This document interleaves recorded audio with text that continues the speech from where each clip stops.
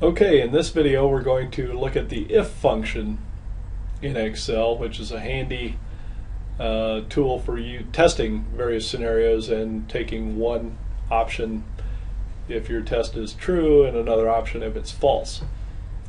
So in this case, we're taking a spreadsheet that we created that was able to look up values and create uh, extended price line items for our order along with a total uh, but we want to recognize our better customers and give them a discount. So we've got a quantity for discount uh, here of 100. If they order 100 or more, we're going to give them a 15% discount. And you can see I've got these cells set up. Uh, you can change those as needed. So let's go ahead and extend our order out and give an extended price with the discount applied.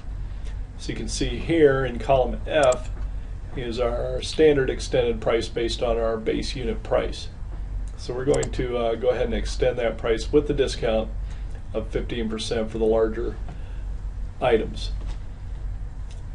Okay, first thing we do is start a formula with the equal sign and then in this case we want the if function and you can see Excel helpfully brings up a list of functions that begin with I we're going to go ahead and select if by double clicking it. And you can see here if is pretty simple. We're going to set up a logical test. What it is we want to see is if. Um, and then we're going to have a value if it's true and a different value or formula if it's false. So in our case, what we're going to test for is did the quantity they order for this particular item uh, equal or exceed 100. So if B, I'm sorry, D2 is, let's say, less than 100. So if it's less than 100, we're going to stick with the standard extended price that they um, uh, were offered to begin with. And we separate the items in our formula with a comma. So if D2 is less than H2, comma, we'll use our regular extended price. So that's a very simple formula. We're just going to bring in that cell. Now, you can see that as I move to different areas of the function, Excel helpfully color codes them to give me some clues as to what's going on and also in this little tooltip here it highlights the section I happen to be working on. So I'm on the value if false now. So if I'm not less than 100 that means I'm at 100 or greater so I'm going to, going to apply the discount, uh, which in this case would again be F2. Uh, however, in this case, we were going to multiply it by and whoop, shift 8 to give me my uh, asterisk. Uh, open a parenthesis, 1 minus my discount rate, which is I2. Close my parentheses. Uh, for this particular format formula, and then close parentheses for the overall if function.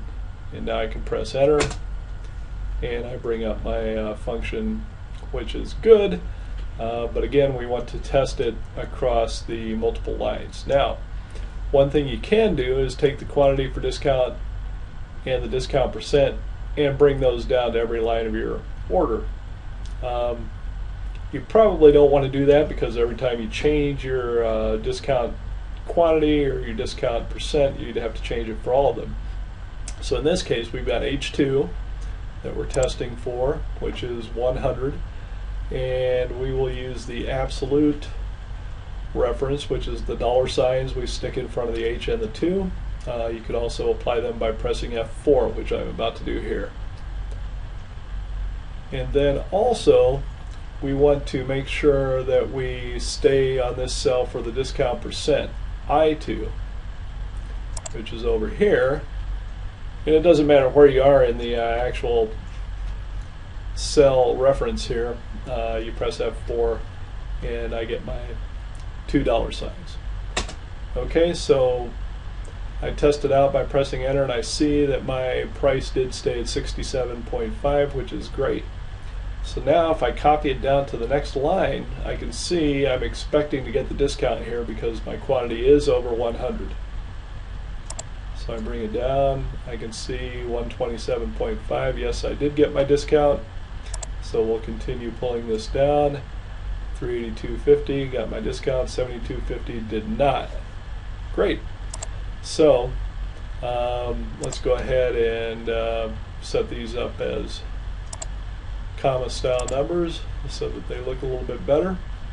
And we have uh, successfully used an if statement to apply our discount here.